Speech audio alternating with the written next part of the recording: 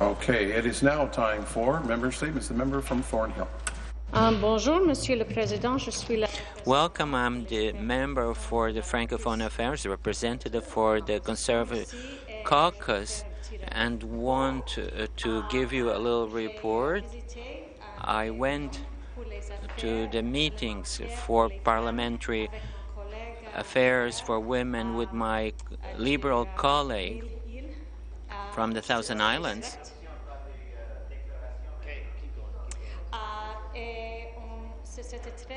It was really something that was very interesting. It was in Italy in the month of February.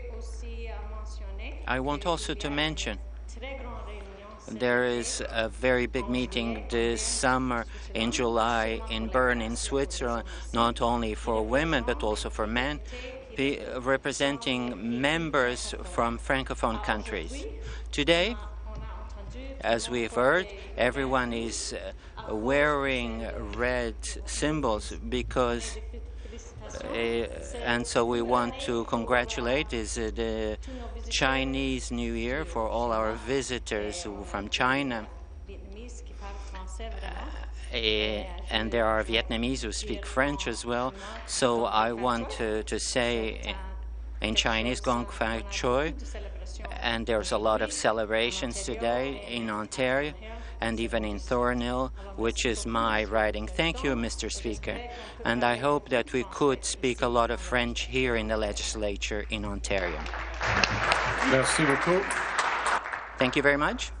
Statements. The member from Welland. Thank you, Speaker. This year marks the 10th anniversary of the Accessibility for Ontario's, Ontarians with Disabilities Act mandating that our province be fully accessible by 2025. Last week, an independent report revealed that Trinity College Provost Mayo Moran confirmed at this government's rate, we're nowhere reaching that target. The report reiterates what accessibility advocates, the AODA Alliance and supporters have been flagging for four years, confirming that in the last 10 years, 1.8 million affected Ontarians who face barriers have not seen any significant improvement to services or access.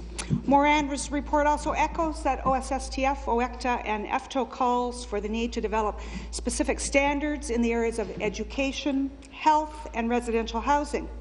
The Minister of Economic Development, Infrastructure and Employment responded, claiming we're already moving on some of these recommendations. I challenge this government to disclose what, when, and how. If it was that serious, about these recommendations and the report, it should have made the report accessible to start with when they first released it. Mr. Speaker, this report is a wake-up call to the government's leadership to stop dithering and to commit to making accessibility a priority by developing the standards and ensuring we're just not paying lip service to those people who need it most. Thank you, Speaker. Thank you. Member statement. The member from Davenport. Uh, thank you, Mr. Speaker. In Davenport, I visited in December. Rather, I visited the Perth Avenue Co-op, a great housing facility in my riding of Davenport. I met with residents of this vibrant community and had a roundtable discussion around affordable housing. An issue that came up was the end of the federal government's operating agreements with cooperatives and other housing providers. When these agreements conclude, nearly 200,000 Canadian households, depending on rent gear to income housing assistance, will be left out in the cold. Speaker, almost half of these are households in Ontario. The vast majority of these agreements, including the contract with Perth Avenue, will expire in 2020. The federal funding necessary to avert this crisis is modest. The Cooperative Housing Federation of Canada estimates that only $6 million over the next five years is required to maintain these co-op homes. Despite this, the federal government has been silent on this issue and has sat idly by, uh, by as a number of these vital operating agreements have already expired. Mr. Speaker, I have already spoken to the Minister of Municipal Affairs and Housing about this important issue and have urged the Prime Minister to take action. I want to lend my voice to this issue once more. Our federal partners need to make a commitment to continue providing these absolutely critical funds, and this commitment needs to happen now. Here, here. Member statements. The member from Kitchener-Conestoga. Uh, thank you, Speaker. As uh, temperatures hit new lows, I encourage snow-weary Ontarians to get out of the cold and into a car at the 42nd Annual Canadian International Auto Show. The Trillium Automotive Dealers Association have put together another world-class show bringing more dynamic, interactive content than ever before, along with the stunning display of over 1,000 cars and trucks ready to roll. The Canadian International Auto Show has a well-earned reputation as not only the most impressive, but also the largest consumer show of any kind in Canada, with over 300,000 taking part in the annual tribute to Metal and Wheels. Get up close and personal with the latest models. Look to future concepts or gaze into history with priceless classics on display. With more than 125 exhibitors and 40 automotive brands represented, there's a little something for everyone. Speaker, this year's theme, Life is in Motion, is about the way we live now connected at all times technologically in sync with not just our mobile devices and one another, but with our vehicles as well. And while the TADA is fueling our dreams, they're also raising money for Prostate Cancer Canada with the Rock the Road raffle, which will see one lucky visitor drive off a 50th anniversary edition Mustang GT Coupe with $22,000 in custom modifications. So bundle up the family and head down to Metro Toronto Convention Centre for a show that will get your motor running while raising money for an important cause. Thank you, Mr. Speaker. Thank you. For the member statement, the member from Oshawa. Thank you, Speaker. Firefighters provide an invaluable service to our communities. As first responders, they keep us safe, they give us peace of mind, and they risk their lives in the service of others. In return, it is the government's responsibility to ensure that they are not unnecessarily put at risk. This afternoon, I will be sending a letter to the Liberal government about a tragic loss we experienced in our community in Durham earlier this month. On February 8th, Adam Brunt, a firefighter hopeful from Bowmanville, tragically lost his life during a cold water exercise, training exercise in Hanover. This was an accident, one that is currently under investigation, but there are many disturbing questions that must be answered about the lack of safety in the private safety training industry in Ontario. Private pre-training service courses, such as the one Adam was taking, are not regulated in our province, and sadly, Adam's loss is not an isolated incident in an industry in desperate need of regulation. Though these courses are technically optional, students are encouraged to take them to be competitive and hopefully get a job.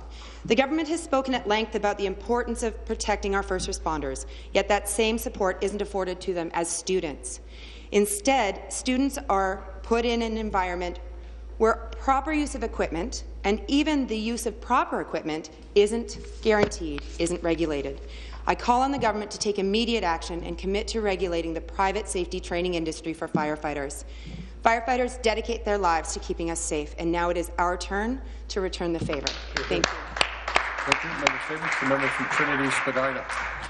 Speaker, I rise today to share the happiness of the celebration of the Lunar New Year, the year of goat. Chinese, Vietnamese, Korean communities in Ontario will be celebrating across the province today. Chinese New Year is a celebration of Chinese heritage and culture, two things that are particularly interesting to me and many in my writings of Trinity Spadina. The Lunar New Year is the most important of the holidays of the Chinese community. It's unclear when the exact beginning of the New Year celebration in China was. Normally, it's said to start from the year and the religious ceremony during the Shang dynasty, 1766 BC to 1122 BC. But interestingly, it was actually it was actually the Han dynasty, same spelling as my first name, as you noticed, 206 BC to 2, uh, 220, um, and that, that's the, that established the official day of the Chinese New Year. According to the tales and legend, the beginning of the Chinese New Year started with the fight against the mythical beast called Year, or in Chinese, Nian. Nian looks like an ox with a lion head and inhabits in the sea. At the night of the New Year's Eve, the, the, the year, or the Nian, will come out and harm people, animals, and properties. Later, people found out that the, the, the year fears the color red, fire and loud sound, therefore the firecrackers. So I want to invite everyone to celebrate the Chinese New Year, the Lunar New Year across the province. Thank you, Mr. Speaker. Thank you. Member statements. The member from Halliburton, Kawartha, Kawartha Lakes Brock. Thank you, Mr. Speaker. I want to talk about the implementation of the new social assistance management system that occurred in November of last year. As it turns out, the new program, which cost 240 million, never worked. This computer snafu went from being called a minor glitch to a very serious problem in 24 hours. Confidential ministry documents show problems were identified in October 2013 and its implementation was delayed in March and again in July 2014. The government always knew there were problems. It's obvious that they weren't fixed and they went ahead with the program anyway. Now, the program requires an additional $16 million and a third-party advertiser advisor to tell us what frontline workers have been saying for months that SAMS, the acronym, for the system does not work. This money could have been paid for a lot of food, heat and hydro, dental appointments and housing for our most vulnerable citizens. Now, the ministry may choose to point the finger at the frontline staff, but it's a system that is broken. A process that used to take 21 days to turn around now takes months. I've heard of cases where it's taken four hours to update just a address change into the system because it keeps rejecting it. So frontline caseworkers now are so burdened by the system, they're unable to meet with constituents, take calls, complete paperwork, and get the checks out on time. Municipalities uh, where they manage Ontario Works have tried to step up to the plate, but the ministry needs to resolve the problem as soon as possible to support our most vulnerable citizens. Thank you, Mr. Speaker. Thank you. Member statements. The member from Scar the member from Ottawa, the member from Scarborough, the member arm wrestle, the member from Scarborough, Agent Court. Thank you, Mr. Speaker. I'm pleased to rise today to recognize the Wong Association of Ontario. This morning, I had the pleasure of joining the Wong Honga Wansan Association, also known as the Wong Association of Ontario, to celebrating the unveiling of a plaque from Heritage Toronto. The Wong Association has played an important part in the history of Toronto and Chinatown since the foundation in 1912, making it one of the oldest Chinese family associations in Canada. Wong's has been in Canada since the, before the Confederation. The journey to Canada was not an easy one for many Chinese Canadians who faced discriminations through the Chinese Exclusion Act and many hardships upon their arrival. Chinese family Groups like the Wong Association were essential in helping new Chinese immigrants adjust to life in Toronto. My own family also benefited by the support from the Wong Association. I recall my mother taking both my siblings and I to the Wong Association every weekend for settlement support. In 2011, the Wong Association was honored by the Governor General of Canada with their own family crest in recognition of their invaluable contributions to the development of our nation. Made made by the Wongs for over the last 150 years. I want to thank the Wong Association of Ontario for inviting me to be part of the ceremony this morning and for joining us in the legislature this afternoon. I wish everyone celebrating Lunar New Year happiness and prosperity. Gong hei fat choi, gong si fat chai, Sunday Thank you, Mr. Speaker. Thank you. Member statements. The member, this is not an argument here. No, we're not going to start that one. The member from Ottawa South. Merci, Monsieur le Président. Thank you, Mr. Speaker. Pleased to rise today to speak about Carleton University from my, in my hometown of Ottawa and to recognize Dr. Runte and all the leaders here from Carleton today. I look forward to meeting them later on this afternoon. Uh, in our highly competitive and increasing, increasingly knowledge-based economy, the skills students are learning at Carleton will help them take their place among the best and the brightest that our province has to offer. Mr. Speaker, I'm proud to say that two of our children, Kirsten, my daughter, and our son James, are both graduates of Carleton, and my father was worked at Carleton 40 years ago. And if none of you have been to Carleton University, it's a beautiful campus that's, that's grown over 40 years, bounded by the Rideau River and the canal. It's really quite spectacular. So Carleton also has a long-standing reputation as a university that promotes research excellence and enjoys many partnerships around the world. It has built a well-deserved reputation as a leader in areas as diverse as public affairs, journalism, engineering, high technology, and international studies. And we have a number of graduates in this legislature from Carleton. I know that the uh, member from Kitchener-Waterloo, uh, the Minister of Consumer and uh, of Government and Consumer Services, the Minister of Tourism, the, the Government House Leader, the member from Eglinton Lawrence, are all graduates of Carleton University. So, having said that, I would invite you all to room 228 between 5 and 7 tonight to enjoy their hospitality and get a chance to let Carleton display the kind of great institution that it is. Thank you very much. I thank all members for their statements.